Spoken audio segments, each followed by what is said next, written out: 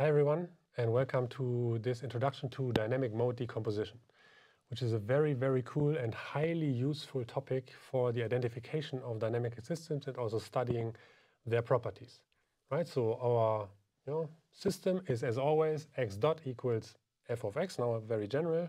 Um, and we may have certain issues with this f of x that uh, make it more challenging to, to study the system. Right? So the first um, and, and most obvious problem could be that this is unknown.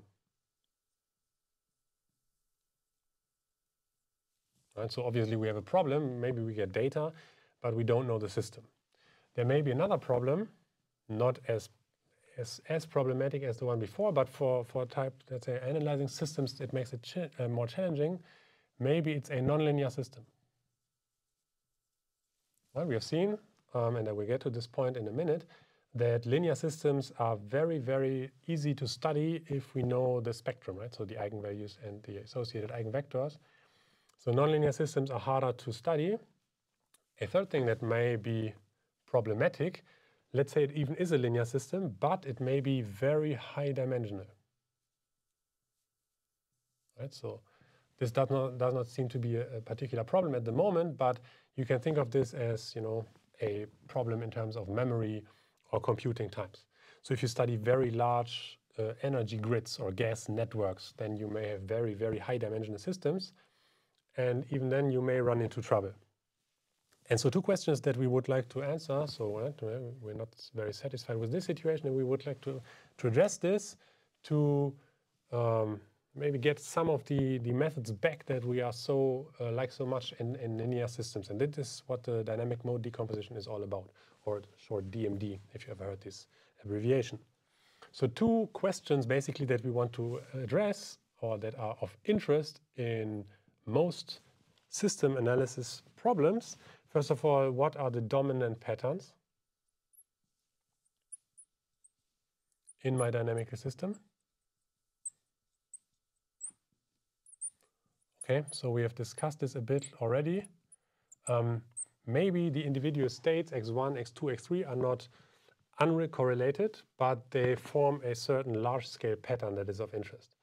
And so the question is, can we find these dominant patterns if we have a, linear, a nonlinear system, or maybe a, an unknown system even, and just have data? And so the second question that we want to address is the question of what is their dynamical behavior? So of these dominant patterns. If dominant patterns exist, what is their dynamic behavior?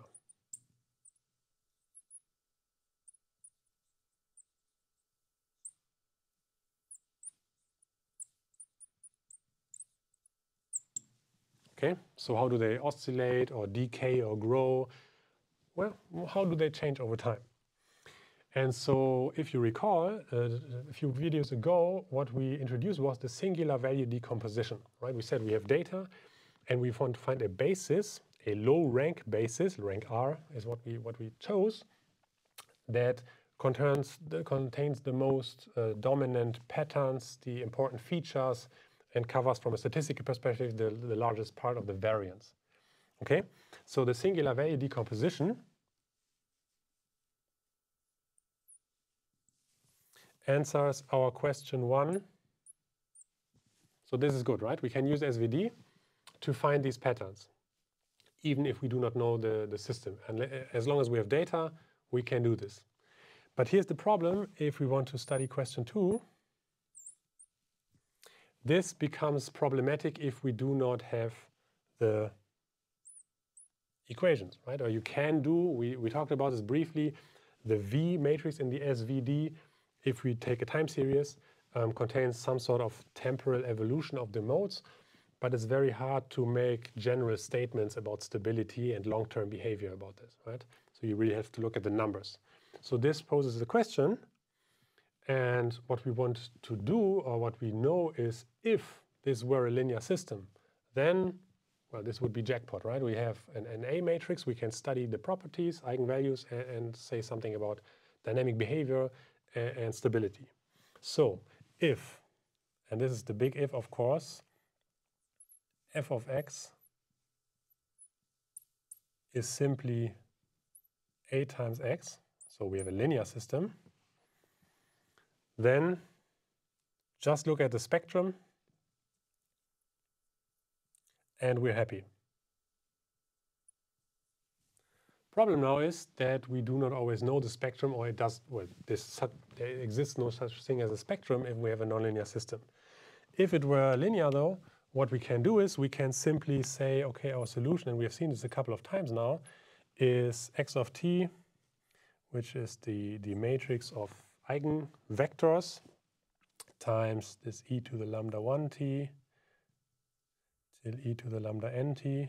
Again, this is the special case where all of them are uniquely defined, so we have no double eigenvalues. Uh, P inverse times x0. Okay, so this is something we have seen a couple of times now. So the spectrum gives us all we need, and we're quite happy about this. And so here's the idea. What if we do not have a linear system, or maybe we don't even know the system? Let's just assume that there is a linear relation. Okay, so this is the very basic idea of DMD, and it sounds very simple, um, but a lot of people have been working towards making this numerically efficient and really extracting these from large data sets and so on. So there's been a lot of research in recent years, but in res retrospective, the question is appears to be very simple actually. So given time series data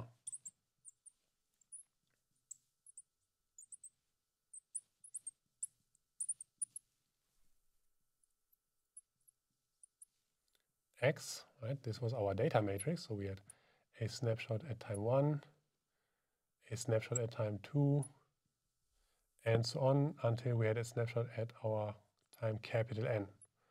So this was our big data matrix. Um, N was the state dimension and capital N was the number of time steps. So given such a matrix, simply and this is the, the, the, the big assumption, simply assume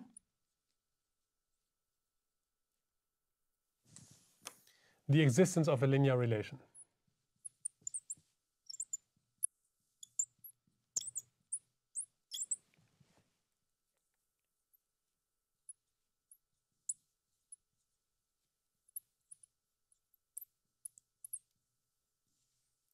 And so this is obviously a very, very strong assumption. We just say, okay, we have a data set. We have no idea what created this data. And at least it's a dynamic system, sure, but we don't know whether it's a linear system, whether it's a nonlinear system, how strongly nonlinear this behavior actually is, and so on. So let's get rid of all these ideas and let's just assume that there is a linear relation. So we say, okay, we don't know whether this A even exists, but let's just say we assume that this is given. Okay? And so one thing that we have to keep in mind, this is not an equal sign because we cannot guarantee this, right? So we say, okay, let's assume that there is an approximate linear relation. And this is really important because if we do have a linear system, then we can, you know, use find this A from data. If it's not a linear system, this is obviously an approximation. And so what we do is we again can solve an optimization problem to find this best fit matrix. So even it, if it may be a nonlinear system, let's try to find a matrix that in a best possible way, so with minimal error, predicts the, the mapping from xk to xk plus 1. So as before, let's just formulate this as an optimization problem. So we say this matrix A is the arg min. So just a second. So I'm minimizing over all possible matrices A tilde. And the argument that minimizes, so the, the, the, A that minimizes my loss function is what I get. And so this is the minimizer over my trajectory. So this I to n minus 1 x k plus 1 minus a tilde times x k. Okay, so what you see, this is very, very familiar. This is a least squares type error, right? We have an input xk. We have a mapping that maps this input to an output xk plus 1. The difference now is what we have seen so far was a mapping from a vector to a scalar. So that the, the, the, the matrix or the, the, parameter set that we're trying to learn was just a weight parameter w. So, right, so this was our w earlier, which was a q-valued vector, right, depending on how many features we had. And so, but this is no longer the case. Now we're trying to find a matrix. So it's sort of a, a multivariate problem of the least squares version that we have seen. But other than that, it looks actually quite related, right? So seems to be solvable very well. We have a, a, quadratic loss function. This is convex, so there should be a unique minimizer and should be easily findable by using ordinary least squares. And so this is actually what you can do, right? What we will do is we just say, let's define our data matrix Z um, as x1, x2, and so on until xn minus 1, right? And then let's define a matrix Z dash, which is basically the same matrix except that we shift at every point in time uh, one time step ahead. So it goes from x1, uh, sorry, x2, x3 until xn. Okay? So what you see is I have created out of my data set two matrices that are, you know, I'm mapping from z to z hat, or z dash, excuse me, always one time step x1 goes to x2, x2 goes to x3, until xn minus 1 going to xn. And so if you look at this, then we see directly that the matrix A, if this were a true relationship, would map xk to xk plus 1, 1 or every column of z to the column of z head, uh, z dash, excuse me. So what I can say is simply um, the matrix z dash is, and again, let's use the approximate sign because obviously it cannot be satisfied exactly, um, A times the Z matrix. Okay, so column-wise, x1, A times the first column gives me the first column of Z dash, which is x2, and so on. So it's really a mapping, and this again is an approximate sign. E only if this is really created by a linear system can we identify this. If not, then this loss function will not be zero, right? We cannot have an exact mapping from xk to xk plus 1 in every time step using a linear system if the underlying relation is nonlinear. But this is now our problem, and what you can do is, um, very, very related to the regression problem for, um, for scalar outputs, we can use the, solve this using the pseudo-inverse, right? So we have not discussed the details, but please believe me that it's in a very related way we can do this. So what we get is A, and again, it's not, it's still an approximate solution, but this is the minimizer of this problem. So what we get is z dash multiplied from the right-hand side with the pseudo-inverse of the z matrix, right? So you multiply from the right with z pseudo-inverse, so this one goes to the left. And so this matrix solves this problem, okay? And so we see in the DMD algorithm is actually very, very simple, but if we take data, then we can calculate this matrix using a simple regression problem right? Calculate the pseudo-inverse in a closed form, and we're done.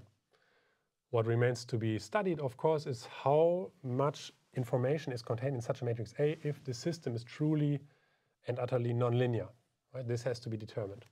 So there's this approximate sign is really crucial, but let's hope that we can get some information out of the system matrix, even though the system matrix may not exist for the true system. Right? And then we will see even if we have very high dimensional systems, this may be of interest because maybe we want to try not to find the full A matrix, which is very large, but maybe we are only interested in the leading components of my, my eigenvector matrix corresponding to the most important eigenvalues. And this will be the topic of the follow-up video where we will discuss an efficient implementation and in particular avoiding computing this large matrix if it's very large and instead directly going to the spectrum and thus learning something about our system from data. Thank you.